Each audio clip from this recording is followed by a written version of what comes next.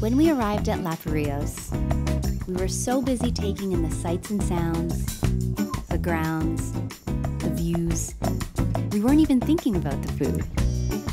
And then we sat down for our first meal. The food is incredible. These are some of our favorites.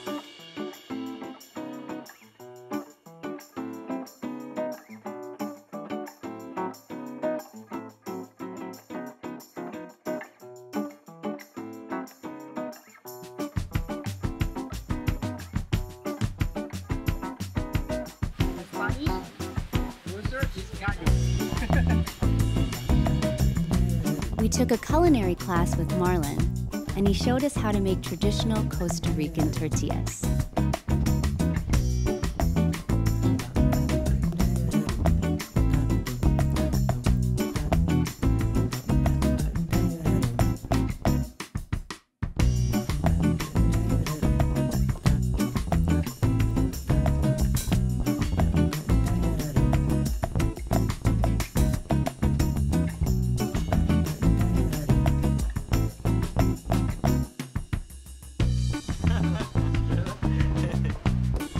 And Mike took a cocktails class with Johan and made flaming drinks, Drink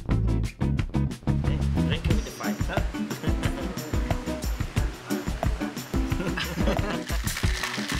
a blue cricket,